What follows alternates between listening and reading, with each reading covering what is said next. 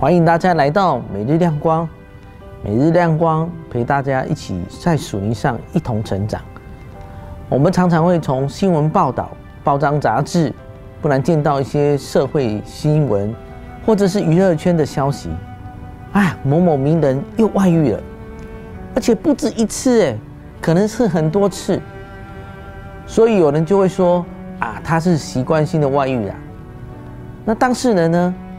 他会一再的保证，我不会再犯这样的错误了，却是一直在外遇的状况，甚至还有不同的对象，好像这样的坏习惯已经成为根深蒂固、无法自拔。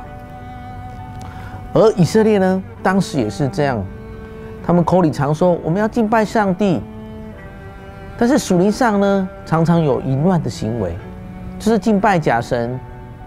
不要悔改，又不断的放下各样的罪行，不愿意被改变，那上帝就会透过先知提醒他们要悔改啊，就可以得到医治了。但是呢，他们就像这个外遇的先生一样，我保证一定不会外遇，我一定要好好爱我的妻子，忠实我的婚姻和家庭。但是过了没多久，又再一次的外遇了。以色列百姓就是这样。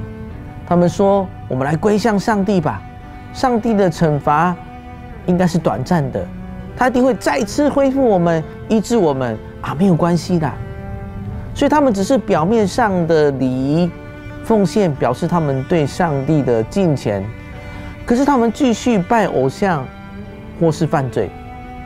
难怪神说他喜爱的是良善，不喜爱祭祀，盼望百姓真正。爱他，认识他，与他有更亲密的关系，更胜于线上对他的礼物。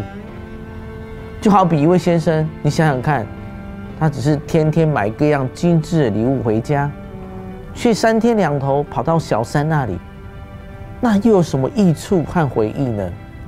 愿我们单单敬拜神，成为神所赐福的百姓。